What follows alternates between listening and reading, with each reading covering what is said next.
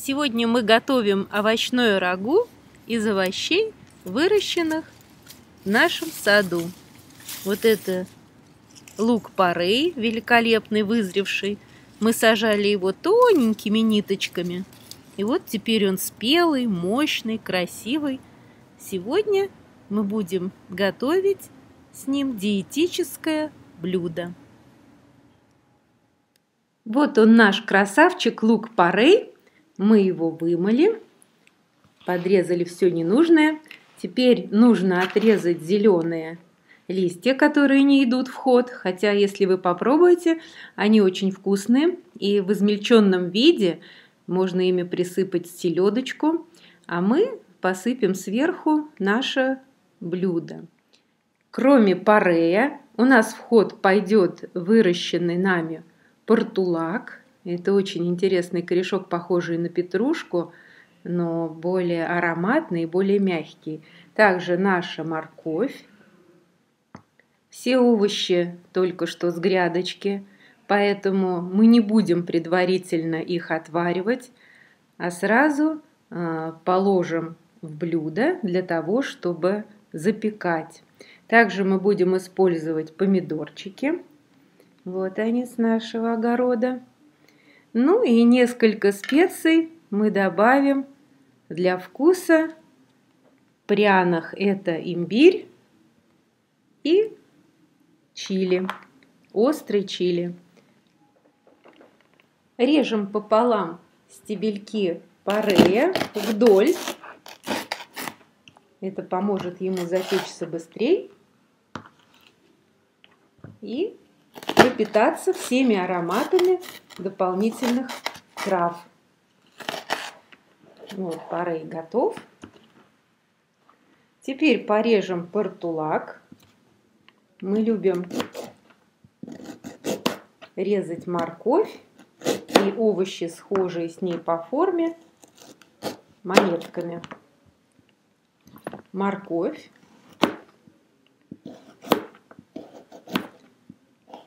Можно сделать овалы для красоты, чтобы все наши овощи были разные.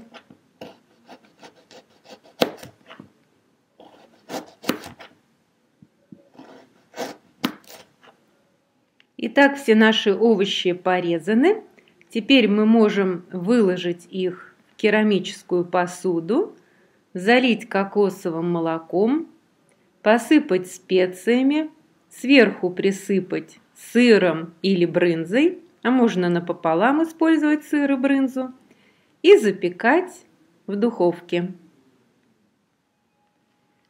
Мы используем для запекания прочную посуду, которую мы аккуратно и очень красиво выложим наш парей и остальные овощи.